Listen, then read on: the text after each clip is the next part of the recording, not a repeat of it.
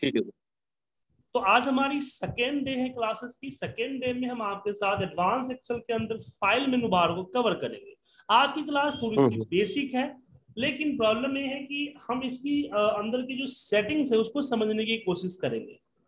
अब दूसरी क्लास में ही सेटिंग्स के बारे में समझना क्यों ज़रूरी है इसके बारे में जान लीजिए। क्योंकि तो क्या होता है कि जब भी हम कोई नई चीज़ लेते हैं जैसे कि मान लीजिए कि मैंने कोई नया मोबाइल फ़ोन खरीदा है तो उसकी रिंग टोन okay. उसका वॉलपेपर ये सब अपने अकॉर्डिंग हम एडजस्ट करते हैं। क्यों? क्योंकि वो हमारे कन्वेंस के अकॉर्डिंग हमारे इन्वायरमेंट के अकॉर्डिंग वो सेट हो जाए। सेम उसी तरह फ़ाइल के अंदर भी है। तो फ़ाइल में तो बाद में सबसे पहले होम आता है। होम में आपके रिसेंट यूज़ की गई टैंपलेट और ब्लैंक वर्कबुक होता है। नीचे आपकी रिसेंट फ़ाइल होती है प्रिंट फ़ाइल होती है शेयर विथ मी होती है। शेयर विथ मी फ़ाइल वो होती है जो आज जिसने आपको शेयर किया हुआ है। पिन जो होता है वो होता है जैसे कि कोई फ़ाइल आपको बार बार ओपन करना होता है तो ये लिस्ट तो फिक्स हम्म। नहीं होती है ये तो बढ़ते घटते रहती है। तो आप यहाँ पे क्लिक हम्म, करके पिन कर देंगे तो पिन लिस्ट में चली जाती है। ठीक है। न्यू पे आते हैं तो न्यू के अंदर में आपके ब्लैंक बुक अलावा यहाँ पे टैंपलेट्स होता है। अब टैंपलेट्स जो है बहुत इंफॉर्मेटिक है बहुत ज़रूरत की चीज़ होती है। अब ऐसा इसलिए जैसे कि मान लीजिए कि आपको किसी ने चार्ट किसी ने मान लीजिए कि कोई एक ऐसा रिपोर्ट बनाने के बताया जो आपके बारे में पता नहीं है। जैसे कि मुझे माइल स्टोन चार्ट के बारे में बोला गया कि माइल स्टोन चार्ट बना के दिखाओ। अब मुझे समझ में नहीं आ रहा है कि माइल स्टोन चार्ट होता क्या है। तो जनरली आप लोग क्या करते हैं कि गूगल पे जाके सर्च करते हैं ना? जी। तो गूगल पे तो पिक्चर्स के रूप में टेक्स्ट के रूप में मिलता है। लेकिन आप जो यहाँ पे माइलस्टोन यहाँ पे जो है आप एक बार सर्च करके देख ले।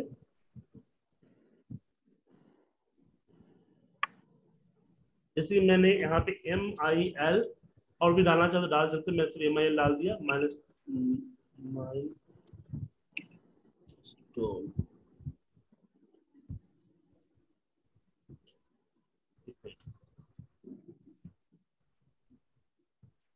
आप यहाँ पे सर्च कर सकते हैं। जैसे यहाँ पे देखिए माइल स्टोन है। ठीक है ना? M A I L E milestone chart ठीक है? ठीक है। क्लिक कीजिए। ये रहा आपका माइल स्टोन चार्ट ओके अब इसके अंदर जो डेटा डाला हुआ ना बस इस डेटा को चेंज कीजिए और बना लीजिए आप। बन जाएगा। ठीक है। Okay okay.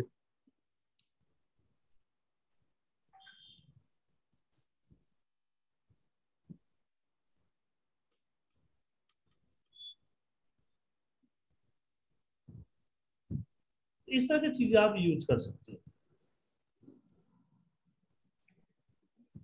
तो बेसिकली टेम्पलेट से रिलेटेड ऑप्शन है बेसिक ये तरीके से देखा जाता है ना? जैसे आपको इनवॉइस बनानी है न्यू पे जाएँ हम्म, हम्म, हम्म। और यहाँ पे समझ गया। बिल आपको यहाँ पे बिल से चीज़ आ जाएगी। क्लिक करें आप यूज़ कर या फिर आपकी भी कोई चीज़ आप चाह आपकी भी फ़ाइल चाहते हो टेम्पलेट बन जाए तो उसको आप सेव एज कर ब्राउज करके यहाँ एक्सेल टेम्पलेट अब ऐसा होता क्या है? देखिए तो ये क्या होता है कि आपके पास जो ये होता है रिपोर्ट्स बनाते हैं तो क्या करते हैं? आप प्रीवियस रिपोर्ट को सेव एज करते हैं नए रिपोर्ट में। फिर उसमें हाँ। कल की जो डेटा है उसको डिलीट करते हैं। आज की जो डेटा हाँ। है वो डालते हैं। जनरली हम यही करते हैं ना। तो हर बार आपको हर दिन ये करना होता तो आपके जितने भी रिपोर्ट्स हैं उन रिपोर्ट की आप टेम्पलेट तैयार कर लें ताकि अगले दिन से आपको उसको सेव एज करने की ज़रूरत ना पड़े। तो आपके पास जब भी ओपन हम्म। करे तो क्लीन जैसे एग्जांपल के बता सकता हूँ मेरे पास यहाँ पे होगा कोई टेम्पलेट ये सेल्स दिख रहा है? टेम्पलेट का आइकन कुछ इस तरह से होता है। दिख रहा है ना आइकन होता है। मैं जो ओपन करता हूँ तो सेल्स वन के नाम से ओपन होगा। अच्छा।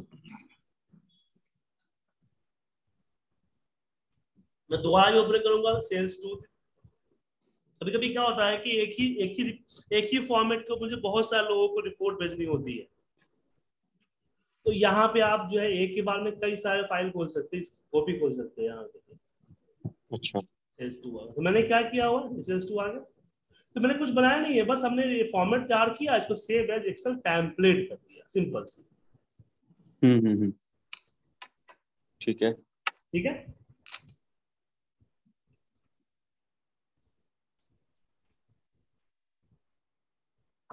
उसके बाद ओपन आपका नॉर्मली फ़ाइल ओपन करने के लिए होता है जो हम ओपन करते वो है इसमें।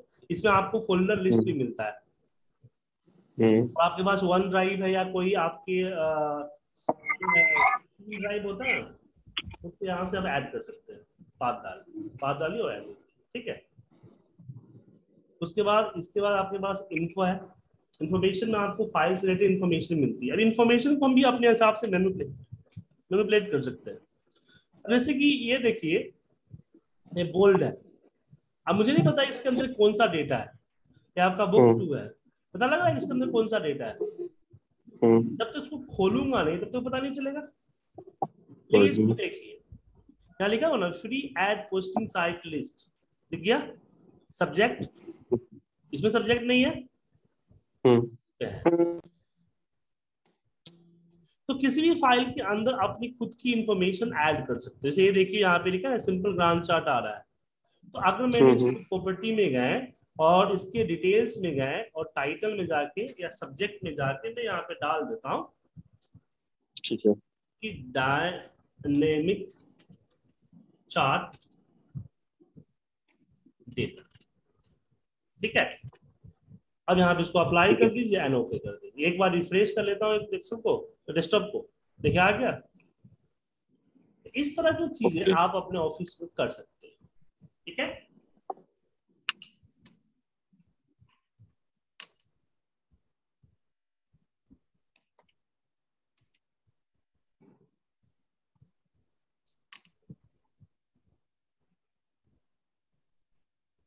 उसके बाद हम फ़ाइल में बढ़ते हैं save normally save save as तो जानते ही है, लेकिन ध्यान रखिएगा सेव एज करते समय यहाँ डिफ़ॉल्ट एक्सेल वर्कबुक होता है। अगर आपके माइक्रो के अंदर में किसी भी तरह का कैलकुलेशन हुआ वीवीए प्रोग्रामिंग हुआ तो आप हमेशा जो है एक्सेल माइक्रो अनेबल वर्कबुक इसका इस्तेमाल करेंगे। Okay okay? ओके नहीं तो क्या होगा एक्सेल वर्कबुक में करेंगे तो आपका माइक्रो डिलीट हो जाएगा। प्रिंट नॉर्मल आप प्रिंट कर सकते हैं। शेयर आप अपने फ़ाइल को डायरेक्ट मेल के through as a PDF as excel file आप शेयर कर सकते हैं। जैसे इसमें मैं क्लिक किया ना तो आपको क्या होगा आउटलुक ओपन होगा और एक फ़ाइल अटैच होकर यहाँ पे चली जाएगी। मतलब कि कोई सेव करने का झंझट नहीं है। हम्म हम्म। उसके बाद एक्सपोर्ट आता है इसको आप पीडीएफ में एक्सपीएस में या अदर फ़ाइल टाइप में आप इसको एक्सपोर्ट कर सकते हैं। पब्लिश अगर हम्म। पावर बी यूज़ करते हैं तो पावर बी से कनेक्टेड है तो उसका यूज़ कर सकते हैं। अकाउंट के अंदर बात करते हैं अकाउंट में। अकाउंट में आपका एक्सेल अगर पायरेटेड नहीं है तो आप लॉगिन कर लेंगे जहाँ से आप एक्सेल को इजीली अपडेट कर सकते हैं ये आपका अपडेट हो जाएगा। ठीक है? तो बेसिकली इसका जो डिटेल्स है इसमें ये जनरली डिटेल्स वो हैं कि भाई आपका रिलेटेड टू मतलब एक्सेल का अपडेट और ये सब चीज़ें माइक्रोसॉफ्ट का अपडेट और ये सब है ना? हाँ मतलब कि फ़ाइल मेनू के बारे में फ़ाइल मेनू में फ़ाइल से रिलेटेड है। अब जैसे अकाउंट अभी देखिए एक्सेल मेरा अपडेट हो रहा है राइट तो मैंने जो लेयर रखा है वो ऑफ़िस 365 ले रखा है। ओके। जो कि क्लाउड बेस्ड है। तो इसमें अच्छा, जैसे अच्छा। माइक्रोसॉफ्ट कुछ भी नया ये करता है इम्प्लीमेंट करता है तो मैं इसको इजीली अपडेट कर लेता हूँ। तो सारे फीचर्स सारे फॉर्मूले जो भी नया आएगा वो ऑटोमेटिक मेरे हम्म, सिस्टम में आ जाएगा। तो इस, इसका क्या मंथली इसका कुछ चार्जेस होता है हाँ इसका मंथली नहीं पहले तो मंथली था अब इसका ईयरली हो गया। ईयरली आई थिंक इसका पैंसठ सौ रुपया ईयरली चार्ज है। छह छह अच्छा, लाइसेंस फैमिली पैक का वन का पैंतालीस सौ की बयालीस सौ है। अच्छा। ठीक है? ठीक है।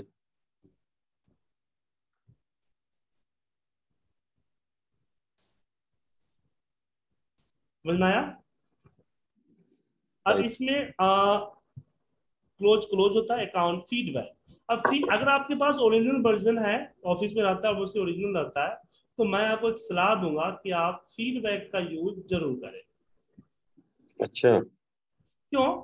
देखिए आपको अब फ्यूचर में हमें तो एक्सेल पे ही काम करना राइट हम्म। एक्सेल जितना बेहतर होगा जितने नए चीज़ आएँगे उतना ही हमारा आसानी होगी ना सर? okay. अभी नई चीज़ आएगी कैसे? माइक्रोसॉफ्ट का टीम रिसर्च कर रही है लेकिन वो आपके आपकी रिक्वायरमेंट को कैसे समझेगी? ओके। okay. इसलिए आपके पास अगर लगा कि कोई फॉर्मूला में सजेशन है तो आप उसको सजेस्ट करते रहे। आपके आपने जो सजेस्ट किया है ऐसी कुछ ऐसी टाइप के सजेशन को ज़्यादा मिलेगा या माइक्रोसॉफ्ट को लगा कि हाँ ये सजेशन गुड फॉर मी तो वो क्या करेगा? अगले वर्जन में चीज़ को इम्प्लीमेंट कर देगा ठीक है? ठीक है सर अब यहाँ हम बात करते हैं ऑप्शन ऑप्शन मतलब कि जो एप्लीकेशन है उसकी सेटिंग कि एप्लीकेशन की सेटिंग आप कैसे कर रहे हैं? तो एप्लीकेशन हम्म। में हम बात करते हैं सबसे पहले हमारा नॉर्मल जनरल है इसमें आपका डिफ़ॉल्ट फॉन्ट दिख रहा है आपको डिफ़ॉल्ट फॉन्ट क्या होना चाहिए डिफ़ॉल्ट फॉन्ट की साइज़ क्या होनी चाहिए सेट कर सकते हैं यहाँ से। ठीक है? कितने नंबर ऑफ़ शीट होने चाहिए यूज़र नेम क्या होना चाहिए? अब ये ज़रूरी है जैसे कोई फ़ाइल आपको भेजा तो कैसे पता लगाएँगे इस फ़ाइल को किसने बनाया है? आप उस पर कर्सर रखेंगे तो यहाँ पे आपको ऑथर दिखेगा। देखिए ऑथर आईपी देख सकते तो बाय डिफ़ॉल्ट जो आपका ऑथर होता है ना वो बाय डिफ़ॉल्ट ऑथर आपका एक्सेल का लॉग सिस्टम का लॉगिन आईडी यहाँ लॉगिन आईडी होता है ना वो होता है। लेकिन आप अपने हिसाब से यहाँ चेंज कर सकते हैं। ठीक है? Same hmm. आपका कलरफुल है। आप ब्लैक एंड व्हाइट भी कर सकते हैं जैसे मैं ब्लैक सेलेक्ट करके ओके कर दिया तो पूरा ब्लैक एंड व्हाइट में आ गया। आ गया? Colourful hmm. कर दीजिए डार्क ग्रे कर दीजिए जो करेंगे उस तरह में आपका थीम हो जाएगा। थीम यहाँ से चेंज कर सकते हैं। राइट सर राइट फॉर्मूला में भी खास चेंजिंग नहीं है बस आर वन सी वन करेंगे तो जो एबीसीडी है आपका वन टू थ्री हो जाएगा लेकिन इसकी ज़रूरत नहीं पड़ती है क्योंकि तो फिर दिक्कत हो जाता है रेफरेंस स्टाइल में ए वन की जगह पे आर वन सी वन हो जाएगा। या ए वन है ना यहाँ का आर वन सी वन हो जाएगा इसलिए इसको चाहिए ना। हम्म। उसके बाद इसमें हम फॉर्मूले के बाद डेटा नॉर्मल है कुछ होते प्रूफिंग प्रूफिंग में आपको जैसे ऑटो करेक्ट का बना सकते हैं जैसे हमने डी एस बना रखा है। जैसे एक्सेल सीट पे या वर्ड पे या आउटलुक पे कहीं भी डीएस लिख के स्पेस मारूँगा तो डेली सेल्स रिपोर्ट में कन्वर्ट हो जाएगा। ऐसी चीज़ें आप भी बना सकते हैं। सेव सेव पे क्या होता है कि आप डिफ़ॉल्ट फ़ाइल सेव सेव कर सकते हैं कि आपका फ़ाइल का टाइप क्या होना चाहिए डिफ़ॉल्ट दूसरा ऑटो रिकवर अच्छा देखा अभी मेरा एक्सेल बंद हुआ था फिर मुझे खुला कि दो फ़ाइल दिखा रहे हैं ना? हम्म, हम्म। लिखा हुआ? डॉक्यूमेंट रिकवरी तो क्या होता है कि हम्म। दस मिनट हर दस मिनट में एक्सेल जो है आपकी फ़ाइल को सेव एज करता है। ठीक है। एक्सेल फ़ाइल क्या करता है? सेव करता है और सेव करके इस लोकेशन में रख देता है। एज ए बैकअप लेकिन ये आपको मिलेगा कब? ये हम्म। आपको मिलेगा कब? ये आपको तब मिलेगा जब आप आपका फ़ाइल सिस्टम की गलती के कारण बंद हुआ।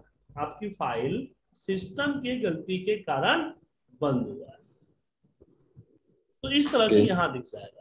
फिर डिफ़ॉल्ट फोल्डर बाय डिफ़ॉल्ट जब कंट्रोल एस करते हैं तो फोल्डर क्या दिखता है आपका? माई डॉक्यूमेंट का दिखता है ना? हम्म। यहाँ पे बाय डिफ़ॉल्ट आप ना फोल्डर का पाथ दे सकते हैं। बाकी चीज़ें लैंग्वेजेस आपका वही नॉर्मल है ऐसे ये भी खास नहीं है। इसमें एडवांस में क्या है? जब मैं और एंटर प्रेस करता हूँ तो मेरा कर्सर नीचे जाता है ना। हम्म। आप चाहते हैं कर्सर कहीं ना जाए। अच्छा। या फिर आप चाहते हैं कि डाउन में आए लेफ़्ट में आए राइट में आए इसका यूज़ कर सकते हैं। ऐसे पकड़ के नीचे ड्रैग करते हैं तो अगर यहाँ पे अनचेक कर दिए तो ड्रैग नहीं कर पाएँगे। तो इसी तरह की यहाँ पे चीज़ें सेटिंग्स है। हर सेटिंग को चलना ज़रूरी नहीं है। जैसे यहाँ शो फॉर्मूला बार अनचेक कर देंगे तो फॉर्मूला बार आपको नहीं दिखेगा। राइट टू लेफ़्ट करेंगे तो ये जो वन टू थ्री यहाँ से दिख रहा है, वो यहाँ से दिखेगा। स्क्रॉल बार आपको दिख रहा है, यहाँ पे स्क्रॉल बार नहीं दिखेगा। सीट टैब जो यहाँ सीट टैब नहीं दिखेगा। फॉर्मूला इधर नहीं दिखेगा सो ज़ीरो ज़ीरो नहीं दिखेगा, अगर चेक करता हूँ तो। कैसी ये चीज़ है, लेकिन इसमें एक इम्पोर्टेंट होता है, वो होता है कस्टम लिस्ट अब देखिए, जैसे कि मैंने यहाँ पे पूजा टाइप किया और टाइप करने के बाद नीचे तक ड्रैग कर दिया। तो आ गया पूजा मोहन कविता पर आपके सिस्टम में हम्म। नहीं आएगा आपके सिस्टम में जैन लिख के ड्रैग करेंगे तो जैन फाइव आएगा या जनवरी फरवरी आएगा। ए सी एन लिख के ड्रैग करेंगे तो A C N M U N लिख के संडे मंडे का शॉर्ट फॉर्म आएगा या पूरा संडे मंडे आएगा? लेकिन मेरे सिस्टम हम्म। में चीज़ें आ रही है। क्यों? क्योंकि मैंने अपना लिस्ट तैयार की ही नहीं। मैं अगर मान लीजिए पुणे लिख के ड्रैग करता हूँ तो यहाँ पे कुछ सिटी लिस्ट आ जाएगी मेरे क्योंकि तो ये चीज़ें हमने एक्सेल के ऑप्शन में सेट कर रखी है। कहाँ पे? यहाँ। एडवांस के अंदर। सबसे लास्ट में। एडिट कस्टम लिस्ट ठीक है? और। यहाँ पे आप देख सकते हैं कि मैंने बनाया हुआ है। कुछ डिफ़ॉल्ट है कुछ यहाँ पे बनाया हुआ है। ओके ओके अब इसके बाद आता है कस्टमाइज रिवन जो रिवन है ना इसमें इस देखें यहाँ पे आरसी एक डला हुआ है। डला हुआ ना? क्योंकि आरसी मैंने खुद बनाया हुआ है। मैं चाहता हूँ ये हट जाए तो मैं इसको से- इसको अनचेक करके या अनचेक कर देता हूँ। तो नहीं दिखेगा। ठीक है? उसके बाद इसको जिसको इसको अनचेक करना अनचेक कर दीजिए वो नहीं दिखेगा। यहाँ पे देखिए ऑल कस्टमर है। या मैं चाहता हूँ इसको रिमूव कर दूँ यहाँ से इसको रिमूव कर। सकता हूँ। क्यों? क्योंकि मेरा टैब था। जो आप खुद बनाते हो रिमूव कर सकते हो। मतलब आप खुद के भी न्यू टैब बना सकते हो और इसमें ऐड कर सकते हो। ऐसा क्यों? क्योंकि जब इसको फ़िल्टर करेंगे ना तो यहाँ आपको दिखेगा not command not in the ribbon मतलब कि इतने सारे कमांड है जो कि रिवन में नहीं है। अब एक कमांड आपको चाहिए तो सिलेक्ट करके किसी मेनू बार में ग्रुप को ऐड करके डाल सकते हैं। ठीक है सर ओके सर अब यहाँ पे आता है quick access tool bar quick access tool bar में जैसे ऊपर यहाँ दिख रहा है सेव सेव वगैरह। यहाँ दिख रहा है ना? हम्म हम्म। तो यहाँ पे ऐड होता है।